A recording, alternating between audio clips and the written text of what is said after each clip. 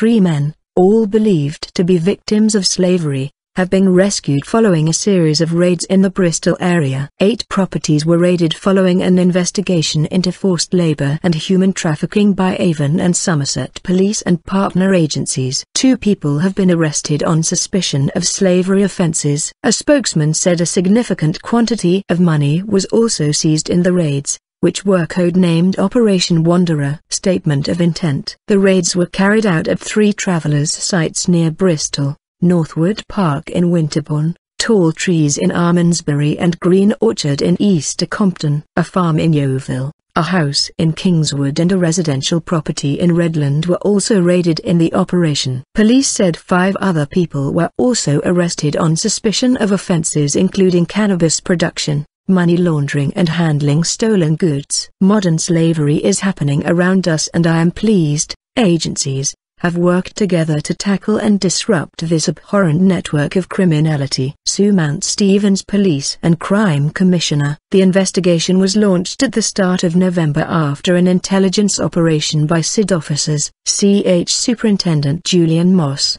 head of CID, said, This is an ongoing and dynamic inquiry, our primary aim is to safeguard and protect vulnerable victims. Some of those affected will not view themselves as victims and, even if they do, may have been unable to speak to the police or any other authorities for a variety of reasons. Today's operation is a very visible statement of our intent to protect people from this type of exploitation. South Gloucestershire NHS Clinical Commissioning Group, the National Crime Agency and specialist charities, such as anti-trafficking organization Unseen and the Red Cross have all been involved in the operation. Avon and Somerset Police and Crime Commissioner Sue Mountstevens said the operation clearly highlights the unacceptable and illegal crime of human trafficking. It shows that modern slavery is happening around us and I am pleased that the police, local authorities, and Unseen UK have worked together to tackle and disrupt this abhorrent network of criminality,